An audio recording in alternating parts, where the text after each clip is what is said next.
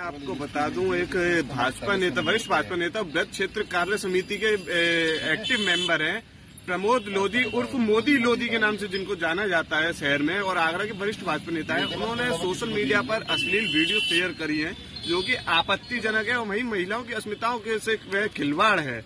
आपको बता दें कि इन्हीं के कुछ दिन पूर्व इनके बेटे वैभव पर यौन शोषण का आरोप लगा था।